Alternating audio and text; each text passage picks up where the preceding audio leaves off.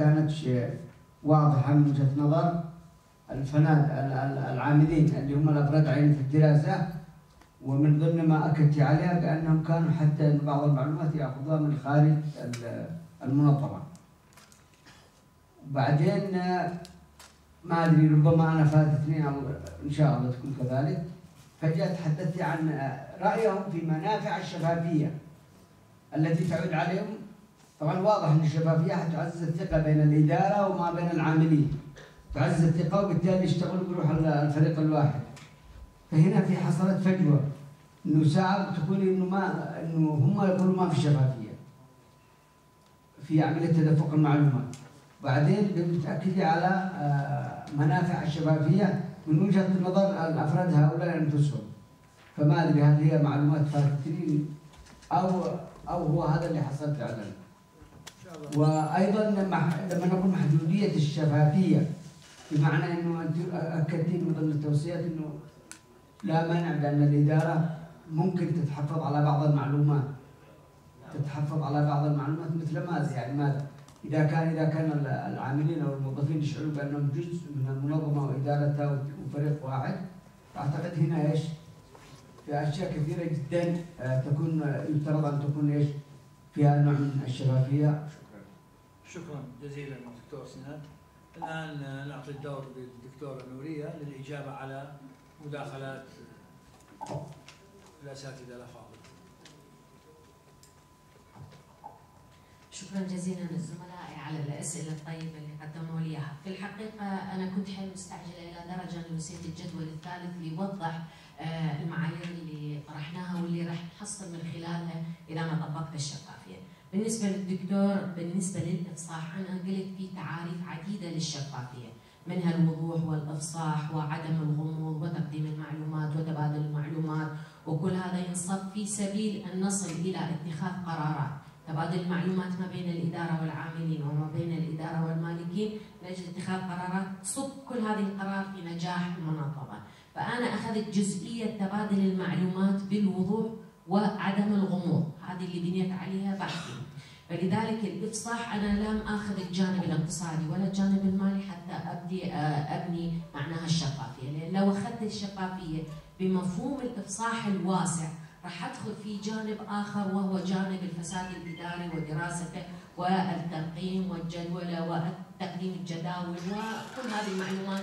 أنا فقط ردت أعرف راي العاملين في الفنادق. لو إنه إدارتهم استخدمت شفافية بأن تقدم لهم معلومات للجميع وواضحه وبدون اي غموض ماذا سيحصل؟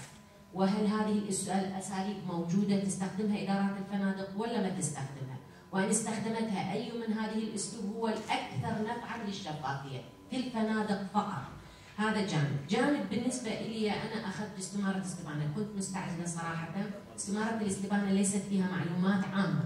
وإنما حددنا معايير قياسا للشفافية إنه هل الإدارة تقدم لك معلومات حول ما يدور فيها من سياسات تشغيل؟ ما هي الإجراءات التي تقوم بها؟ عندما تضع خططها من هي هذه الخطط؟ ما هي الأساليب في تنفيذ هذه الخطط؟ لو وضعت هذه كلها عند اتخاذ القرار هل يوجد مجال للعاملين في إبداء الرأي في اتخاذ هذا القرار؟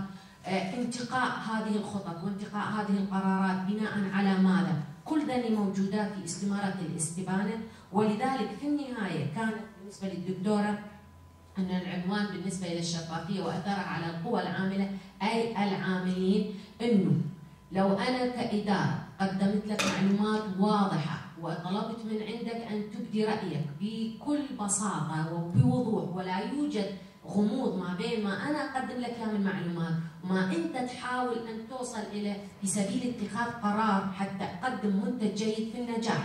فإذا في النهاية وصلنا إحنا إلى ثلاث نتائج. إنه 97% من العاملين قالوا إنه إداراتنا كانت عند مناقشة الخطط ووضع طرق تنفيذ هذه الخطط كلها واضحة ودراسة مشاكلنا وأسباب المشاكل في القسم ولماذا تقوم هذه المشاكل.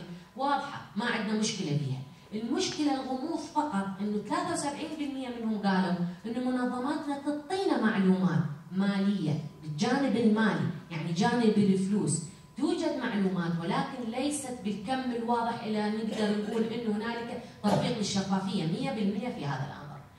بنيت على هذا استنتاج انطيت توصية إنه يحق للإدارة الفندقية أن تخفي بعض المعلومات السرية اللي تخص المنشأة الفندقية لأنه مو كل معلومة أنا ممكن أنطيها لجميع العاملين. في معلومات أنا لو وصلتها لبعض العاملين. نعم مثلا نوع من الاتفاقية أن أنا أنطي تخفيض لإحدى المنظمات أو لإحدى الجروبات أو لفئة معينة من الزبائن. أنطيهم تخفيض ممكن ما ننطيه لغيره. السبب يعود لوجهة نظر الإدارة. عندها جانب خاص بها تقول أنا ما أنطي هذه التخفيضات المالية لغيرها. فما أجي أقول لكل عامل أنت يا ال reservation الموجود عندي بال front office كل ما تجيك هيك group إحنا استثنينا هذا ال group انطيناه 90% تخفيضات وهذا نعطيه 60% بالتخفيضات لأن هذا من جانب فلان وهذا آه له أهمية عندنا له ارتباطات أخرى. اخفي هذه المعلومات لأنه في بعض الأحيان نمنح تخفيضات مالية لبعض المجاميع أو للحجوزات. أو في بعض الأحيان أعين موظف أنطي راتب أكثر من غيره لجوانب خاصة بي أنا كمنظمة. بس لموظف واحد مو للكل لكن لما أجي أقيم ويجيني موظف ثاني بنفس المستوى بنفس الخبرة بنفس المواصفات اللي أريدها وعينه بشكل آخر يختلف عن الزميل الثاني إلى بمستوى الراتب باحتساب ساعات العمل بالترقيه بأي كان وفرق بينه وبين الآخر ومن يجي العامل يسالني يقول لي ليش أنا؟ هذا الموظف الموجود بال front office اللي واقف على ال reception اللي يمتلك اللغة الفلانية ويتقن العمل على الحسابات ويتقن العمل على الحاسوب. تنطيه 500 دينار بالشهر وأنا بنفس المستوى ابن البلد تعطيني 300 دينار. فاخفي عن المعلومات هل هذا يصح؟ قلنا في هذا الجانب لا يصح. يجب أن تكون هنالك معلومات واضحة. إنه أنا عندما يتقدم لي موظف بهذه المواصفات أعينه وأنطيه هذا المستوى من الرواتب. فلا يوجد غموض بالنسبة إلى هذه المعلومات اللي ممكن أن نتداولها والكل يعرفها. لكن غموض أخفي بعض المعلومات اللي تأثر بكرة على سمعتي مع الشركات الأخرى.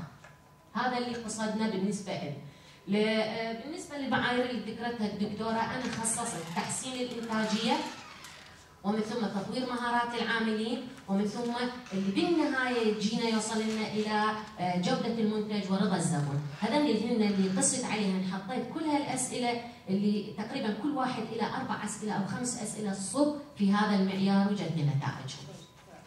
شكرا, شكرا جزيلا. شكرا جزيلا للدكتوره نورية على الإجابة الواضحة حول التساؤلات التي جاءت من الزملاء الجالسين. إذا لم يكن هناك آه، أي مداخلة أو استفسار سوى بقاء عندنا الدكتور ابن عياد فسوف آه، نبدأ بنسجل الملاحظات. إن كان دكتور عندك؟ أحد. عنده أي ملاحظة حول البحث الأخير اللي كان تأثير الاستثمار في رأس المال البشري؟ على سلوك العمال داخل الشركة. أنا الحقيقة عندي مداخلة لو تسمح لي حول البحث. آه، أنا شفت آه، عدم وضوح رؤية آه، عدم وضوح رؤية بين المتغيرات. من هو المستقل؟ من هو المعتمد؟ من هو الوسيط؟ إحنا نعرف أنه هناك يجب أن يكون هناك وضوح رؤية عادة حول المستقل. والمعتمد. هل الاستثمار كان هو المستقل أم تدريب العمال هو كان المعتمد؟ الحقيقة كان هناك شوية إشكالية. عسى أن من خلال هذا التساؤل المالي يعني تعطينا إجابة وللحاضرين ممكن الاستفادة شكرا.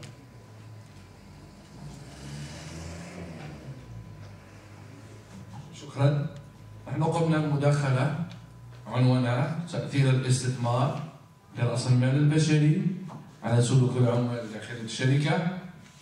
اقترح نموذج اقترح نموذج مع دراسة تطبيقية لشركة الاتصالات نجمة في الجزائر الهدف من هذه الدراسة هو تأثير الاستثمار في رأس المال البشري داخل الشركة بتعتماد طريقة سياسة الأجور.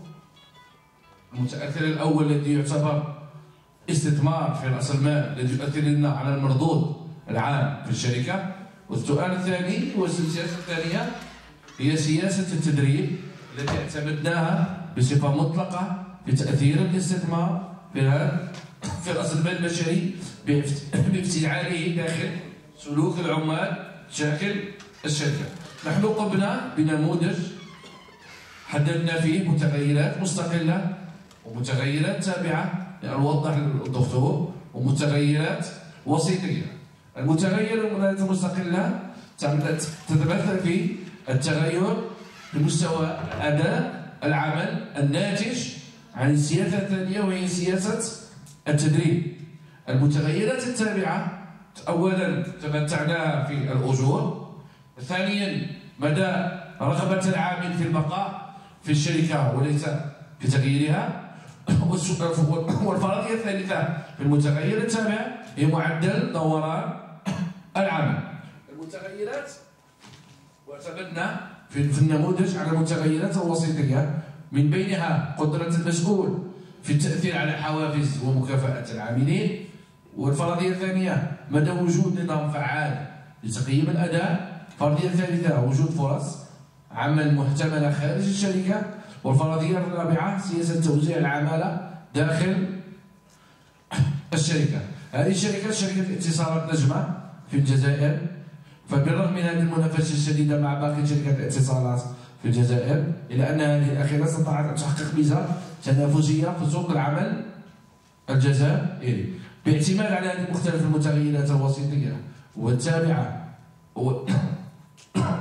المتغيرات الوسيطية والتابعة والمستقلة استخلصنا نتيجة من بين الفرضيات كل فرضية الفرضية الأولى عن طريق نموذج الانحدار المتعدد استخرج النتيجة الأولى أن التدريب يعتبر عامل هام في تأثير على الاستثمار في رأس المال البشري داخل عمر عمال داخل الشركة وأن سياسات الأجور تعتبر من بين أكبر السياسات التي التي تنتمي إلى التحفيز في نقطة رأس المال البشري داخل سلوك العمال داخل الشركة. وشكرا. شكرا. شكرا جزيلا للدكتور على إيضاحه. المتغيرات سواء كانت مستقلة أو محتملة أو وسيطة إذا لم يكن هناك أي مداخلة سوف أنهي الجلسة بتوزيع شهادات المشاركة على السادة الباحثين. المداخلة على human capital indicators آه. with the Middle East University موجود هذا؟ ما موجود. عبد الله عزيز أحمد إيه وأنا يعني آثرت أن أقول اسمه لأنه آه، آه، ما. شفته. فقط قسم من الإخوان آه، من عنده عمل يعني يبدو راح إلى عمله بعد ما ألقى منهم الأستاذة سوزان اللي كانت شريكة الأستاذ الدكتور نجم العزاوي قالت أنا بعد ما ألقي البحث أبقى ربع ساعة لأنه عندي التزام لم تكن لدي القدرة على إبقائها زين. على كل ال- دكتورنا التوزيع العافية يا دكتور لا لا لا يعني بس بنعطيها يعني داخل ظرف ونسلم إياها. إحنا لم يبقى لنا عندنا اربعه كل واحد ظرف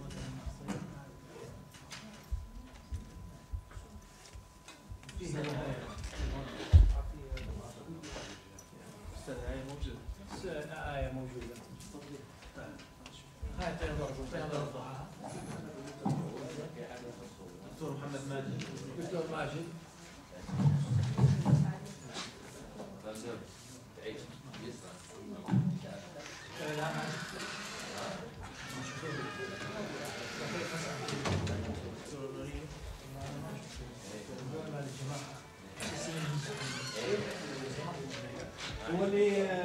لما توزع الشهايد رئيس الجلسة أستاذ الدكتور موسى اللوزي يبدو إن هو في طريق أو تأخر لأسباب ما فإحنا هنبدأ لحد ما إن شاء الله بإذن الله تعالى يوصل لنا وما يبقاش عندنا فيه مشكلة. اللي تناول الجلسة اللي هو عبارة عن إدارة مخاطر رأس المال الفكري والإدارة المالية. عندنا هنشوف بس نتأكد من إن الزملاء آه، موجودين ولا لأ. دكتور كمال رزيق موجود. دكتور عبد الله علي أيوه. موجود. دكتور ياسر شاهين موجود. موجود إن شاء الله. أستاذ دكتور عبد الله آه، بن الناس. نعم غير موجود ولا اللي معاه أسماء.